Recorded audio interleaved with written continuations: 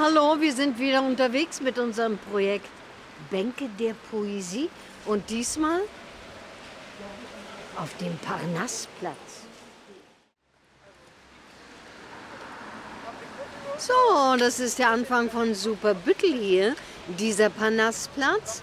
Und es wird noch ein späteres Projekt geben in der Rellinger Straße. Und das große übergeordnete Ziel ist, Orte zu schaffen für die Nachbarn, wo sie sich treffen können, wo sie sich begegnen können und Orte, die sie selber mitgestalten können. Also der Parnassplatz ist der Anfang von Superbüttel.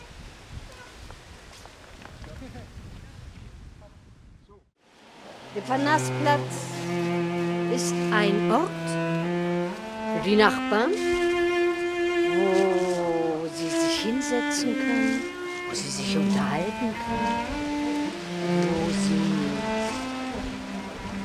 die schönen Blumen betrachten können, die die Nachbarn hier schon angepflanzt haben, wo man seine Fahrräder parken kann und vielleicht das eine oder andere auch noch für sich gestalten und entdecken kann. Und genau darum geht es bei dem Platz Parnass. Kommt es zu dem Namen Parnass?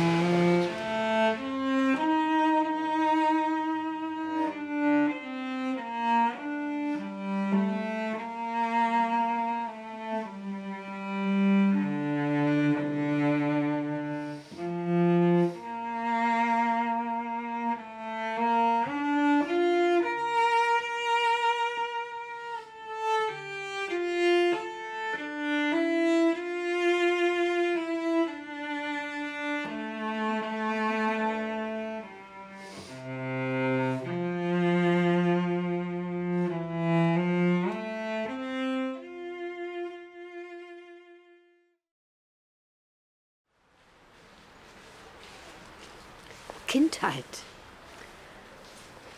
Ein Buch, ein Erinnerungsbuch von Peggy Panas. Peggy Panas, die hat hier gewohnt in der Mettfesselstraße 13 und entstammt einer jüdischen Familie. Sie ist einer der wenigen Überlebenden dieser Familie. Zusammen als Kinder wurden sie nach Schweden, sind sie gereist und Ihre Eltern sind, ihre Eltern Hertha und Simon Panas sind nach Krakau gekommen und im Warschauer Ghetto dann gestorben. Während Peggy und ihr Bruder Gerd in Schweden waren und die Peggy Panas hat hier ein Buch geschrieben, aus dem ich gerne etwas lesen möchte. Natürlich habe ich gleich Ja gesagt, als es um Kindheitserlebnisse ging. So wie ich immer viel zu schnell Ja sage, wenn ein Thema mich reizt. Erst hinterher fiel mir ein, dass ich nie Kind war. Vielleicht jetzt inzwischen bin ich's. Gelegentlich. Also bleibt mir nur zu überlegen, bis wann man offiziell Kind ist. Solange die Mutter lebt? Bis man zur Schule kommt? Bis man das erste Mal mit jemandem schläft? Bis man die Verantwortung für sich selbst und andere trägt? Seitdem ich 14 bin, habe ich mich selbst ernährt. Damals zum Teil auch meinen Bruder mit. Sagen wir mal, dass ich bis dahin Kind war obwohl das natürlich Quatsch ist. Meine Erinnerungen wechseln von Tag zu Tag, ganz je nachdem, wie meine Verfassung ist.